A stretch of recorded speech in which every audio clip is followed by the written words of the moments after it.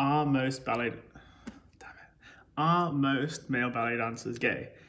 This is a question I got on Instagram, but it's also just pretty popular in general. Most people ask this. Um, the answer is no. Most professional male ballet dancers, I don't think, are gay. At least in my experience, the companies I've been to. Uh, when I was at school at Elmhurst, no, most people were not gay. It was probably under 10%, at least in my year. And then Royal Ballet School, under 10% out of the boys, of course. Uh, and then when I went to uh, the Estonia National Ballet, probably under 5% were gay in the whole company at that time.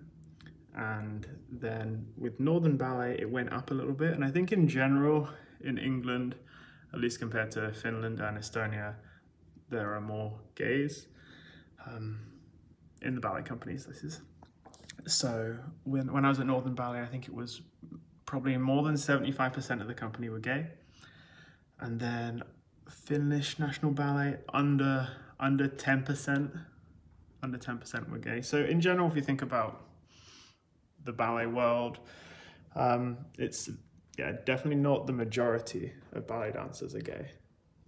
Yeah. Hopefully that answers your question, at least from what I know.